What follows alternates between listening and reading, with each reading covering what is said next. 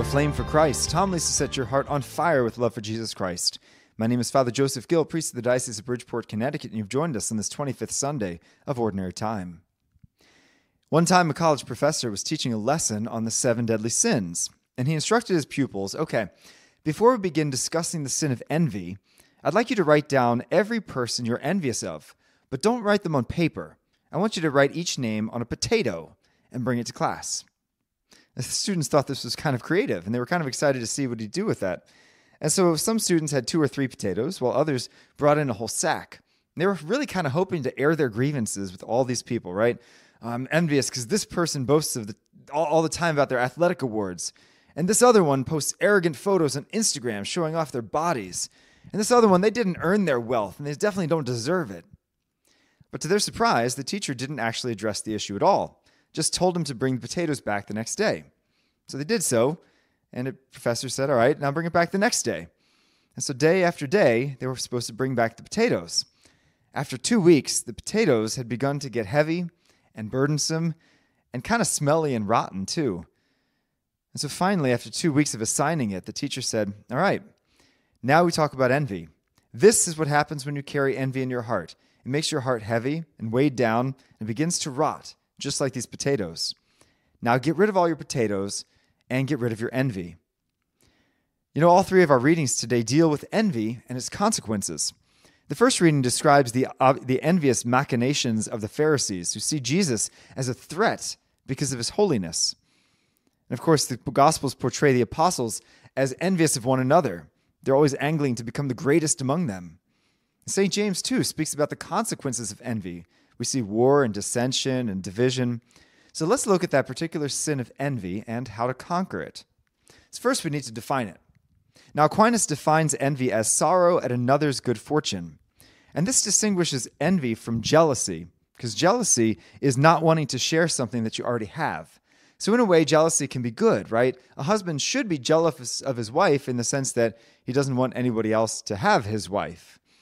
So, envy, though, can envy, you know, sorrow at another person's good, can that ever be good?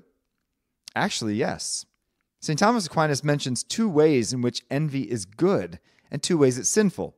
So, envy can be helpful when we see an evil person receive a good thing that they're going to use wrongly, right? So, if a corrupt politician becomes elected, it's kind of right to be sorrowful because knowing that the potential posi- their political position might be used to harm others.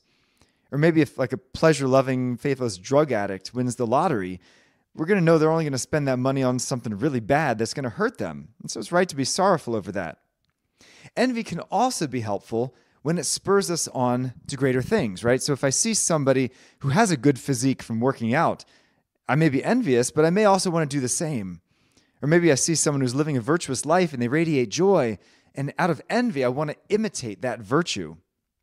However, envy is very sinful in kind of two other ways.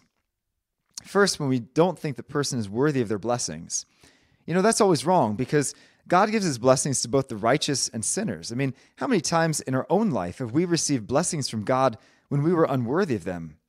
And the other cause of sinful envy, too, according to Aquinas, is when we're angry that another person has simply received more blessings than us. This can even happen sometimes in the spiritual realm. Like St. Therese of Lisieux struggled with this.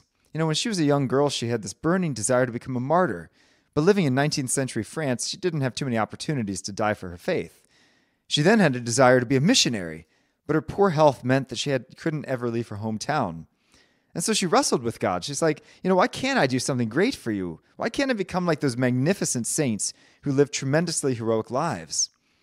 But she finally came to peace when she considered the variety of flowers in the garden. Right? Some are flashy and eye catching, while others are kind of decked in just more subtle hues. And as she writes in her autobiography, she writes, quote, Our Lord has deigned to explain this mystery to me. He showed me the book of nature, and I understood that every flower created by him is beautiful, and that the brilliance of the rose and the whiteness of the lily do not lessen the perfume of the violet or the sweet simplicity of the daisy. I understood that if all the lowly flowers were to be roses, nature would lose its springtime beauty. And so it is in the world of souls our Lord's living garden. He has been pleased to create great saints who may be compared to the lily and rose, But he's also created lesser ones who must be content to be daisies and simple violets flowering at his feet, and whose mission is to gladden his divine eyes whenever he wants to look upon them. And all the more gladly they do his will, the greater their perfection. So, what is this antidote to envy? If we see this unhealthy, sinful envy in our heart, if we get angry at another person's blessings because they have more blessings, or they think we think they're unworthy of them, there are three antidotes. One of which is very evident, and two of which are rather hidden, and you kind of have to think about them. So, the evident one, of course, is gratitude. Right? So often we forget all of our own blessings. We've been given way more than we deserve family and friends, life, good health, our Catholic faith as Catholic speaker Chris Stefanick puts it, he said, None of us has to exist, but we get to. It's just awesome to be alive, and so everything else is a bonus. And really, I mean, counting our gratefuls helps to stave off envy. But I think there's two deeper ways to fight off envy as well. Because I believe that one reason that we're envious of others is because we think that someone else's blessings means that they are loved more by God. We sometimes falsely believe that a person's bigger paycheck or more expensive vacations maybe their better health or more friends, means that somehow we're just loved less by God. You know, but that's not the case, right? And I think that's why Jesus chooses to hold a young child up as an example, because most children are secure in their parents' love. They know that they're unconditionally loved and they're safe in their parents' embrace, right? It's not a competition whether this child is loved more than the, other child. And all Christians ought to know that they are so deeply equally, un- unconditionally loved by their Heavenly Father. I mean, if we've got the treasure of Christ and we know the depths of His love, really, what else do we need? What else do we need? I mean, of course, that's easier said than done, though, right? To be secure in your Father's love isn't a feeling, but it's an unshakable confidence that we are loved, not because of what we can do or produce, how we look, or how successful we are, but because we are His. So I urge you, take a risk, believe in His love, and rest secure that no matter what others have, we are still infinitely, personally, passionately loved by God. Finally, I think a last antidote to the sin of envy. It's kind of interesting, but it's to realize that God has a unique, unrepeatable plan for our lives and that his plan is good and perfect and is directed to our holiness. So even if we don't have wealth, even if we're not successful, even if we don't have good health, we can surrender all this to our Heavenly Father trusting that He's leading us along our own unique path to holiness. Right? So rather than look to everyone else's lives and wish we were like them, we should just look to our own path and see the virtues and gifts that God wants to foster in us. I mean, ultimately, how many of the saints had really kind of unique paths to holiness? Probably a lot of them. One of my favorites is St. Benedict Joseph Labre. He was born in France in the 1700s and he thought about becoming a priest, but was rejected from three separate monasteries. He was too poor. He wasn't able to get letters of recommendation from influential people. He had bad health. And it would have been really easy for him to get, get angry and say, Well, why me? Or to look to others' blessings and be like, Lord, why didn't you give me good health? Lord, why did you make me so poor? Lord, why do I not have connections like other people have? But instead, he said, Lord, I don't know where you're leading me, but I trust in you.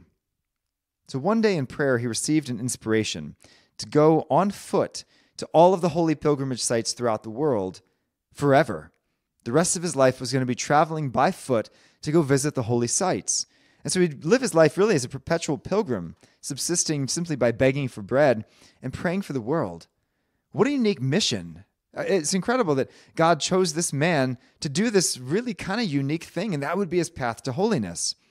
And so he traveled thousands of miles, sharing what little bread he had with the homeless, sleeping out under the stars, living a life of hardship and poverty. So every town he would enter, he'd spend long hours in front of the tabernacle before seeking out the company of the homeless to teach them about the Lord. God used this humble pilgrim in profound ways. In fact, he was known to do incredible miracles. Sometimes he multiplied bread for the homeless and healed the sick. And God even gave him the gift of levitation, which means actually floating while praying. There's been a few saints who have had that miraculous gift. Now, towards the end of his life, he made Rome his permanent home, continuing to beg and to minister to the homeless as a homeless man himself. St. Benedict Joseph Labre had a pretty unique call to holiness, not something that probably any of us in this church is called to do. But rather than blame God or grow envious of others for the, his lack of natural gifts, he just allowed God to use his poverty to make him a saint. My friends, envy is indeed one of the most deadly sins. It kills charity in the heart and rots away our peace and joy.